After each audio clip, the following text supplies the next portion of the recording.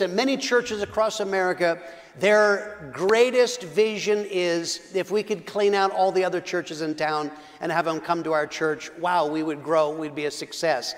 That is not our vision. And the reason why is you can't make disciples and warriors out of joiners. Joiners won't commit themselves, they won't sacrifice. Joiners will leave when they have a better offer, joiners won't receive correction but converts. Converts whose lives are transformed in the house when they heard the gospel of Jesus Christ.